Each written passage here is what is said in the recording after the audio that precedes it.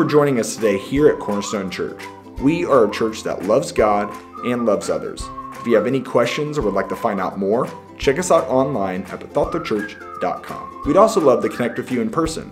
Cornerstone Church meets every Sunday morning at 1010 in Bethalto, Illinois. We look forward to seeing you. And now, onto the message.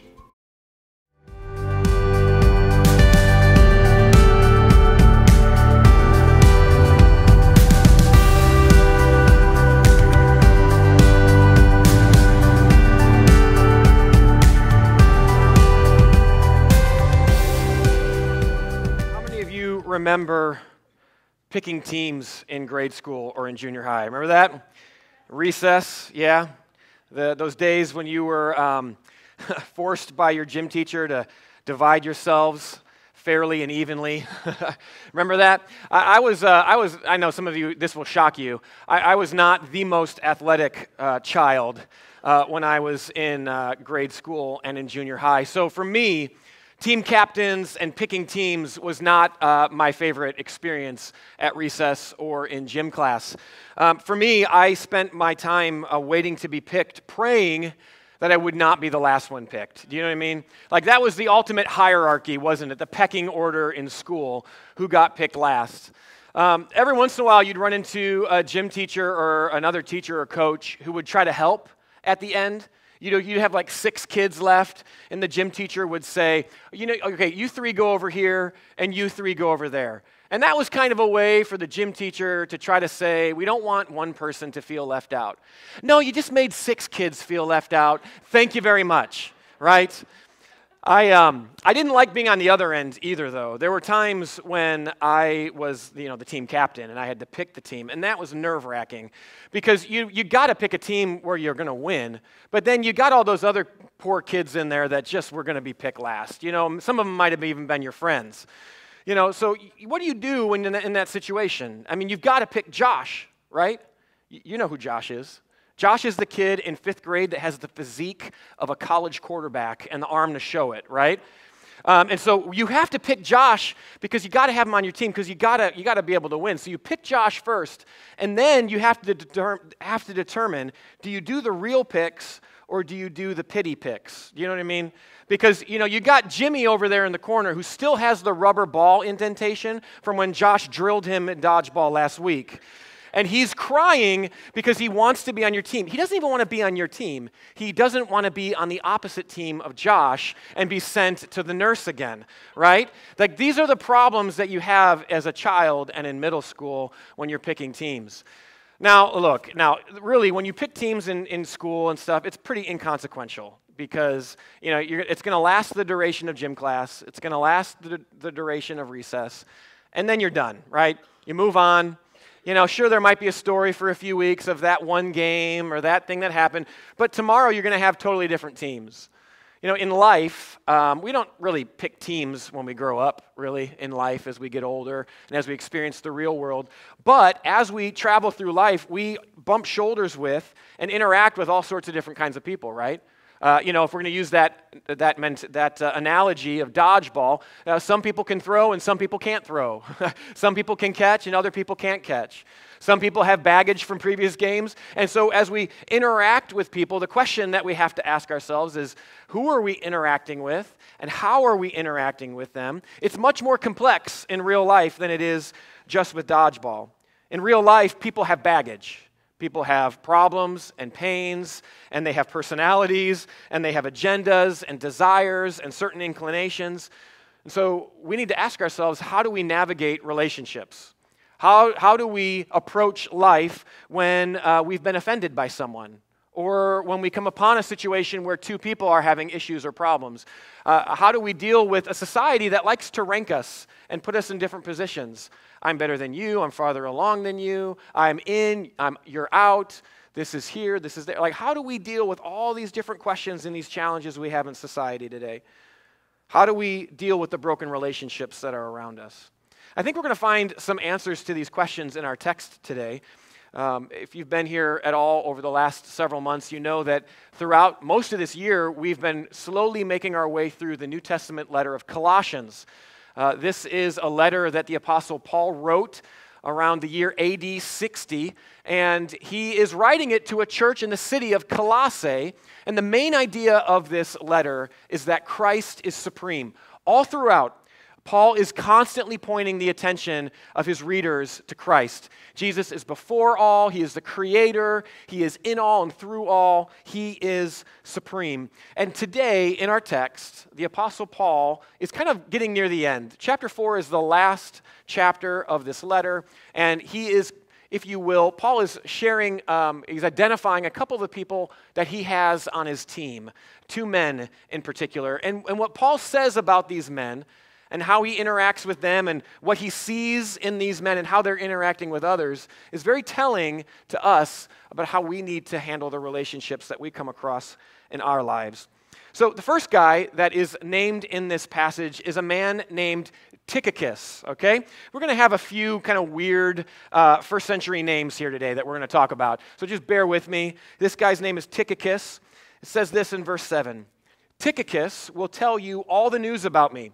He is a dear brother, a faithful minister, and a fellow servant in the Lord. Now, we really don't know much about Tychicus. Uh, he is named in the Bible five times, and uh, each time he's named, it's just a sentence or a couple of sentences. We don't have a very big picture of him, but we can kind of draw some conclusions, and we know a few things about him. Uh, we're pretty sure that Tychicus is from the city of Ephesus.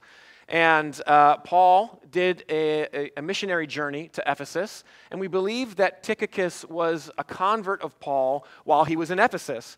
And uh, eventually became part of Paul's team. He's one of Paul's traveling companions. Uh, we know this for at least that he followed Paul on his missionary journeys for at least a short time, but we think it might have been longer. But we know there was at least a small window where he was there.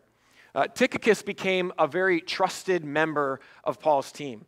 Paul sent him, like he's doing here in Colossians, to deliver letters on his behalf. At one point, he actually is responsible for an offering that is taken for uh, a group of people who are in need. And so Tychicus has kind of, he, he, he kind of shows up at the end of Paul's ministry and he plays a really big, important role near the end of that. So that's what Tychicus is doing here. He's, he's delivering this letter to the church in Colossae and he's bringing news about Paul's situation. Uh, look at how Paul describes him. He has three terms a dear brother, a faithful minister, and a fellow servant. So, Paul clearly has an appreciation for this man, uh, even an affection and a respect for him. He continues on in verse 8 and says this I'm sending him to you for the express purpose that you may know about our circumstances and that he may encourage your hearts. So Tychicus is delivering this letter, but he kind of tells, it, it, sounds like he's telling Tychicus, hey, fill in the gaps if they have questions about this letter, but also tell them about me. Remember, Paul's in prison here. And Paul is uh, suffering because he is he, because he's been preaching the gospel. And the church at Colossae want to know what one of their leaders is experiencing. Uh, in those days, when you went to prison, uh, it wasn't usually a sentence. Typically, prison was like a holding period before they sentenced you. And so they're waiting to know what's going on with, with Paul's situation, what's going to happen to him. But Paul also anticipates that Tychicus will minister to them. He says that they may encourage, that he may encourage their hearts. So even though Paul is the apostle and he's the letter writer, he says that uh, Tychicus is going to minister to you. He kind of elevates Tychicus in their eyes, who they, they haven't met. And he says, Look, this guy's a minister. He's going to care for you, he's going to encourage you. Now, if Paul was picking teams, Tychicus would have been the Josh, okay? Tychicus would have been the guy, like if we were picking a team to, to have in, in life or in ministry, Tychicus is the guy. He was an eager convert. convert. He was loyal and he was faithful. He, he served Paul in a variety of different ways. You know, Paul's in prison for preaching the gospel, and Tychicus is doing gospel work on behalf of Paul. I mean, he's putting his own neck out on the line for his sake. Tychicus is the kind of guy I think that we would all want to hang out, someone who's loyal and encouraging and supportive of us. Now, that's Tychicus, but there's another man that Paul mentions in our passage here, and it's another guy named Onesimus. Paul says this in verse 9 He is coming with Onesimus, our faithful and dear brother, who is one of you. They will tell you everything that is happening here. Now, this seems pretty straightforward, and it actually sounds a little bit like what he says about Tychicus. But one particular part of what Paul says here would, would really have shocked the readers at Colossae. I think there were some jaws that were dropping when they got to this part of the letter as it was read out loud to them. That's because Tychicus and Onesimus have two completely different roles in their society. Now, if you remember a few weeks ago, we talked about uh, the Roman Empire in the first century, okay? And we talked about the house. Remember, there were these household codes. There was an expectation of the way the house was formed. Uh, philosophers like Aristotle would talk about this and they had these kind of structure that you had to live in. And if you lived in the structure, then the emperor, the, emperor the, the whole empire would be stable because the home was stable. And it was a patriarchal stu- structure. The head of the household was a male, and he was on top. And he had authority over the wife, and he had authority over the children, and he had authority over the slaves. If you remember a few weeks ago, we talked about how Paul addresses this. He sees the problems in this system, and he injects the gospel into it to try to subvert it. The reality is, is that this structure was, was an ironclad structure in their day. Emperors ruled and slaves did the work. The men were the head of the home and the slaves did their work in the home. Uh, it, was, it was a way to keep the whole empire secure. And Tychicus and Onesimus are from two different levels in the hierarchy. Paul calls Onesimus a dear brother. And this would have surprised the readers of his day because Onesimus was a slave. You wouldn't speak about a slave in these terms and call him a brother. Now, I told you that we know about Tychicus from five verses in the New Testament. It's very little. But we actually know more about Onesimus because there's another letter that Paul wrote. We think it traveled with this letter to Colossae, and that letter is called Philemon. And in that letter to Philemon, the head of a house, in that church in Colossae, Paul writes about his slave, Onesimus. So, for Paul to mention this and for Onesimus to stand there, the people in the church would have been a little bit confused about what Paul is saying. By calling him dear brother, Paul is elevating this slave and raising his status up, and this is significant. Paul picks someone with considerable baggage to be on his team. He embraces this slave and invites him in. And really, this shouldn't, this shouldn't surprise us because this is part of the theme of what Paul has been talking about in this letter. The previous chapter, in verse 11, he said this Here in the church, there is no Gentile or Jew, no circumcised or uncircumcised, no barbarian or Scythian, slave or free, but Christ is all and is in all. So Paul declares that in Christ, all barriers and labels that society gives are obsolete. They're obsolete. And the people at the church in Colossae, they would have known this about Onesimus. They would have known he was a slave because he was from that city. Paul says he is one of you. Now, in other words, Onesimus is returning with Tychicus and this letter to the city. So we could ask ourselves this question why did Onesimus leave? Did Philemon, his master, know that Paul needed some help, so he sent his, his servant out to go serve Paul? Or maybe, he, maybe Onesimus was out just doing work and he ran into Paul and built this relationship with. Neither of those things happened. The reason why Onesimus is returning is because Onesimus left when he ran away from his master. Now, this is serious business in the first church. This is punishable of death kind of business in those days. You didn't have to punish him by death, but certainly the punishment could have and would have been severe. And so imagine the church in Colossae, their response and their surprise when Paul welcomes them back and he says, uh, Welcome him, he is our faithful brother, our dear and faithful brother. I mean, I think the people in the church would have been like, What is going on? Is Paul crazy? Look, if the Colossians were picking teams, they would pick Tychicus, but I don't think after he ran away from his master that they would be picking Onesimus. But what Paul does here is really, really beautiful. He picks both. He calls them both dear brothers and faithful. Now, what we see here in this one phrase, our faithful and dear brother, I think, is the practical outflow of our faith in Jesus. You know, we talk about this a lot here at Cornerstone, but you weren't saved and forgiven just to be set aside and isolated from, you know, the world around you. You weren't touched by the gospel to be out of touch with society. Our faith in Christ should compel us to live and to act differently, to look past cultural expectations and challenges in order to, to call slaves brothers. That's the power of the gospel in and at work in us and through us. You know, but I find that unfortunately, even in the church, most people are content to stick with the Tychicuses of the world, to build relationships with those people and to pick them. We opt for those people that are easy to relate to, and we surround ourselves with people that don't have baggage, or at least aren't showing their baggage, right? Because all of us have our junk. Some of us are just better at hiding it. You know, calling slaves brothers is uh, no easy task. But what does this look like? I want to take a few minutes to illustrate this. And we're going to do this uh, by looking at that letter that Paul wrote to Philemon in just a minute. But before we get to there, I want to, I want to ultimately contrast that with another letter that was written in the first century. Now, we're going to get into a couple weird names here again, but bear with me. Um, I think when, you, when we get to the end of this, I think you'll see kind of why we're taking this little uh, journey here around the corner here. We're going to take a little bit rabbit, rabbit trail here. But there is another letter that was written in the first century, just a little bit after Paul, um, that is not part of the Bible. But I think it's really telling and it's really revealing about the culture and the society of that day. It's really powerful in how it's different than what Paul says to Philemon. And this is a letter by a man named Pliny, Pliny the Younger, that he wrote to another man called Sabinianus.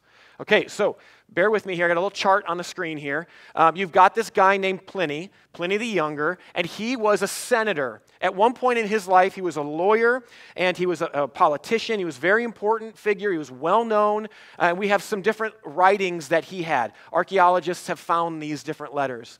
And so he wrote a letter to a man named Sabinianus, and it was about a freedman. You notice at the bottom there it says freedman. We don't have his name. He's not even named in this letter that he's written. Uh, we believe he was a former slave of Sabinianus. And throughout this letter, he talks to Sabinianus about how he should react. Uh, we don't know what happened, but this freedman did something to offend or to make uh, Sabinianus angry. And so, what you have is you have someone in society, near the top of society, telling someone that's the head of a house, below him in society, what to do about a freed man who is below that person. And he says things like this He said, Look, I know that this freed man really made you upset, and I know you have every right to punish him. But I'll tell you what, it's not good for your heart. You're just your personality. You know, you don't do well with anger. So just why don't you show him mercy? Because if you show him mercy, other people, Ben, they'll, they'll see that and it'll be virtuous. People will, oh, look at the mercy you're showing this freed man of yours that's still in your house. Because the challenge in those days is even if you were a slave, you could sometimes earn your freedom through paying it off. Maybe, uh, we don't know if Sabinianus allowed him to, to pay his his, this freed man to pay his way out, or maybe Sabinianus was just nice and made him a free man. But once he was free, it wasn't like he could go anywhere. He was still under that household, he was still dependent on him. And so Pliny says to him, you know, just be virtuous. People will, eh, you know, be magnanimous of you. People will acknowledge that. And besides, I've talked with him. I've given him a good stern talking to. He's really sorry. And if he does something else again, you could just be, you'll be doubly justified at that point, and then you can really lay the boom on him, okay? That's what he basically says. At the end of this letter, the hierarchy is in place. Pliny's at the top, Sabinianus is there, still, I mean, yeah, he's showing mercy, but it's really benefiting uh, uh, uh Sabinianus, and the freedman is still near the bottom. Now let's compare that to Paul's letter to Philemon. And if you have the Bible app out, I have the whole uh, letter of Pliny in there if you want to read it for yourself. There's a similar structure here. Paul the apostle is at the top. He's at the, higher, the high end of the authority ladder when it comes to the church. Uh, Philemon is the head of the house. And according to Roman society, he's got the power over everybody, he's got the authority. And then you have Onesimus, the slave, the runaway slave, which is like below slave status there. But the approach that Paul takes is significantly different. In Philemon, it's, it's only one chapter. In verses 8 and 9, it says this Therefore, although in Christ I could be bold and order you, Philemon, to do what you ought to do, yet I prefer to appeal to you on the basis of love.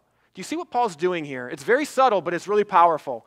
He acknowledges the culture and the status. And he goes, Look, I'm at the top here, and I could order you what to do. I could tell you how to do things. He said, But instead, what I want to do is I want to appeal to you on the basis of love. Paul doesn't lord himself over this head of a house. But instead, what does he do? He lowers himself down, brings him down himself down to Philemon's uh, level, and he reaches around, puts his arm around him, and says, Hey, Philemon, let's talk. I'm coming to you as a friend. I'm coming to you as someone that loves you and is in relationship with you. Yes, I'm an apostle, but I'm not doing it that way. I'm doing it this way. And he goes on and he begins to talk about Onesimus in the next verses. It is as none other than Paul, an old man and now a prisoner of Christ Jesus, that I appeal to you for my son, Onesimus, who became my son while I was in chains. So he's, he's in prison. He gets in contact with Onesimus, and he builds this relationship with him where Onesimus, he considers him to be his son. Verse 11 Formerly he was useless to you, but now he has become useful both to you and to me. Uh, just a side note here Onesimus' name means useful, Mr. Useful. And so Paul is doing a little play on words here. And then verse 12 I am sending him who is my very heart, back to you. So, what does Paul do here with Onesimus? He reaches down to this runaway slave and he raises him up and loves him and he reaches his arm around him and says, Onesimus, let's talk.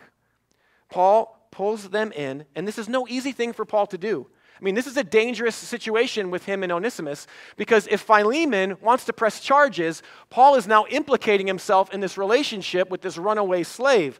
And so Paul could have refused to help. Uh, Paul could have uh, maybe tried to get Onesimus to escape. He could have found another way out. He could have just been passive aggressive and stepped away. But Paul does the hard thing and he reaches out to Philemon and he reaches out to Onesimus in an act of reconciliation between the two. At the end of the letter, the hierarchy is changed. This is the power of the gospel in our society and in our culture, where there's this hierarchy in the first century, and it shifts now, and everyone is on the same playing field. Now, Paul doesn't tell Philemon to set Onesimus free because that doesn't really get to the heart of the issue. Outward action doesn't change the heart of the society. Slavery was pervasive in that culture. There are some estimates that up to one third of the population of the Roman Empire were slaves. And so instead of trying to go from the outside and, and blow up a system that would probably create even more problems, Paul tries to inject the gospel into the very structure itself by changing the dynamics from within at the local level to be able to bring disruption to the whole empire. Now, where does Paul learn this kind of idea of bringing people together and trying to be an agent of reconciliation? Well, he learns it from Jesus, doesn't he? Throughout Jesus' life, Jesus says things like this in John 10. He says, I and the Father are one. I and the Father, we have relationship with one another. The Father loves me, and I remain in him, he says in John 15. Jesus embraced God the Father and was in constant relationship with him. But his life also shows us how he embraced humanity, doesn't it? I mean, the very act of Jesus leaving heaven to come to be with us is an act of embrace, is it not? Isn't this what he was showing us through his teaching, through his miracles, through the healings that he performed, that he was embracing us as well? You look, Jesus was the point of reconciliation there. At some point, Onesimus decided to do his own thing. He looked at his master, and whether he said it or not, he said, in his mind or verbally, he said, I don't want to do what Philemon is telling me to do. I'm going to do what I want to do. I'm not going to do your will anymore, Philemon. I'm going to leave. We all are like Onesimus, aren't we?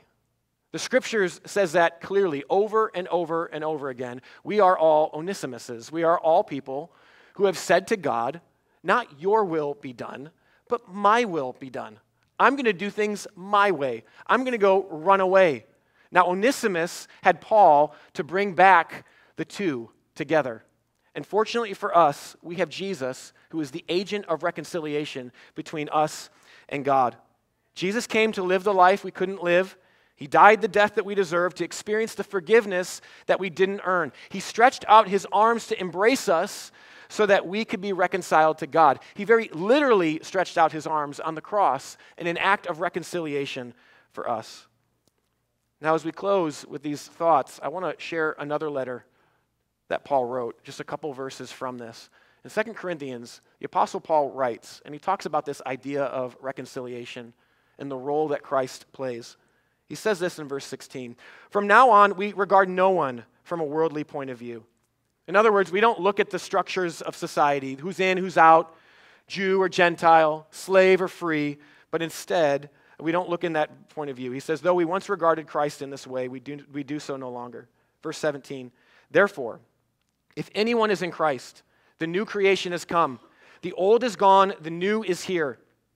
All this is from God, who reconciled us to himself through Christ and gave us the ministry of reconciliation. That God was reconciling the world to himself in Christ, not counting people's sins against them, and he has committed to us the message of reconciliation. We are therefore Christ's ambassadors, as though God were making his appeal through us. We implore you on Christ's behalf be reconciled to God. I mean, who would have thought in this little verse that we see some names that we don't understand? Paul says, Look, there's this guy Tychicus, and he's great. He's, our, he's a faithful, dear brother and a servant. And then he talks about Onesimus, and the jaws of the people would have dropped. And Paul wraps his arms around not just Philemon and Onesimus, but he wraps his arms around Onesimus and the church as well. And he serves as an act of an agent of reconciliation for them. You know, we talked about teams at the beginning and the people that we interact with. In church, I know it's easy for us to hang around with the Tychicuses. We need those people in our life. We need to have those kinds of people that support us and encourage us, that love us, that understand us, but we also need to have people that are like Onesimus in our life that we are reaching out to. And sometimes that, that barrier is them and us. It's a broken relationship that we have with them. But oftentimes, it's their broken relationships with other people. And, church, we are called, just like Christ extended his hands on the cross in an act of sacrifice, of reconciliation, we are called in the same way to be ambassadors of reconciliation, where we stretch ourselves out. And you know what? That might mean that we get ourselves in some sticky situations some less than ideal situations, just like Paul did in reaching out to this runaway slave. Church, I want to ask you the question today who are your hands reaching out to and around? Who are you embracing? Is it just a bunch of people that are like Tychicus? Or are you reaching out to people like Onesimus? Are you acknowledging the brokenness and the baggage and the frustration? Are you doing the pity picks? I kind of spoke negatively about that, but that's really what we're talking about. Are you going to, not pitying people, but reaching out to those people and choosing to interact with them, choosing them to bring them on your team, if you will? Are you believing in them? Are you loving them? Because that's what Christ has done for us. If you're here today and you're separated from God, you're not in relationship with Him, it says it right here on the screen be reconciled to God. Romans 10 says that if you declare with your mouth Jesus is Lord and believe in your heart that God raised him from the dead, you will be saved. A couple verses later, it says, Everyone who calls on the name of the Lord will be saved. It's a simple response just to call on the name of the Lord, and you can enter into relationship with him. And for those of us who are believers in the room today, let's join in the ministry of reconciliation. Let's be ambassadors. You know, we can kind of bemoan or complain about the big moral issues of our day and the problems that are in our world. Uh, we can try to attack it from the outside or, or force a, a structural change, or we can do what Jesus and what the Apostle Paul modeled for us, and we can subvert it by being agents of reconciliation with the people that you come in contact with every day your neighbors, your coworkers, your friends, and your family members. Who are your hands extended to? Is it people like Tychicus? Is it people like Onesimus? Church, I think it needs to be both. It was our honor to play a small role in what God is doing in and through your life, and we would love to continue that journey with you. To find out what your next steps could be in your relationship with Christ, check out bethaltochurch.com slash next. Thanks for joining us again, and we'll see you next time.